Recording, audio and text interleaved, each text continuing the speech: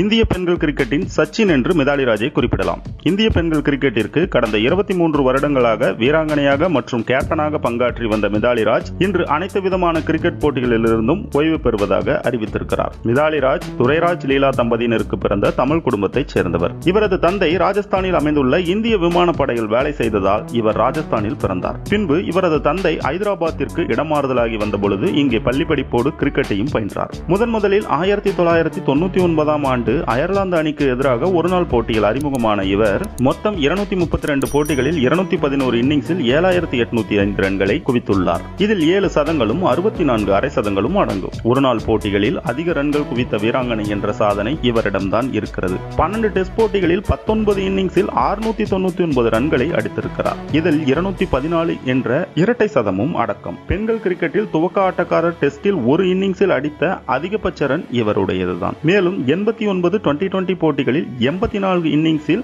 இரண்டாயிரத்தி முன்னூத்தி அறுபத்தி நாலு ரன்களையும் சேர்த்திருக்கிறார். இதில் இவரது அதிகபட்ச ஸ்கோர் தொண்ணூத்தி ஏழு நாட் அவுட். பதினேழு அரை சதங்களும் இதில் அடங்கும். தற்பொழுது இவரது வாழ்க்கை வரலாறு திரைப்படமாகவும் மாறி வருகிறது. இதில் நடிகை டாப்ஸி இவரது கதாபாத்திரத்தில் நடிக்கிறார். இந்த திரைப்படத்திற்கான கதையை பிரியா அவன் எழுத ஸ்ரிஜித் முகர்ஜி இயக்குகிறார். இந்த திரைப்படம் வருகின்ற ஜூலை மாதம் பதினைந்தாம் தேதி வெளியாகிறது. இன்று ஓய்வு முடிவை அறிவித்திருக்கும் மிதாலிராஜ் தனது அறிக்கையில் நாட்டை பிரதிநிதித்துவப்படுத்துவது மிக உயர்ந்த கௌரவம் ஆகும் இந்தியா ப்ளூஸ் அணியில் நானும் இப்படியான ஒரு பயணத்தில் ஒரு சிறுமியாகத்தான் புறப்பட்டேன். இந்த பயணம் உயர்வும் சில தாழ்வுகளும் நிறைந்தது.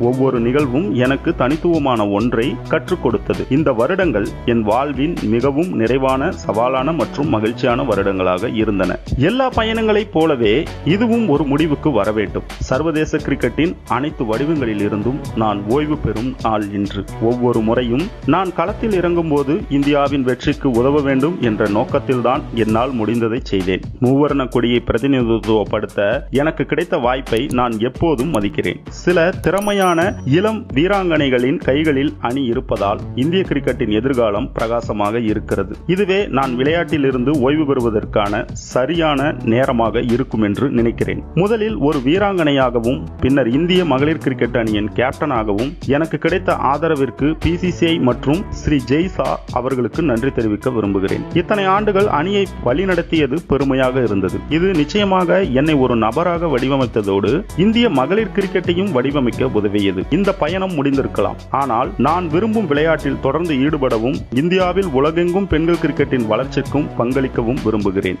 எனது ரசிகர்களுக்கு உங்கள் அனைவரின் அன்புக்கும் நன்றி என்று கூறியிருக்கிறார்.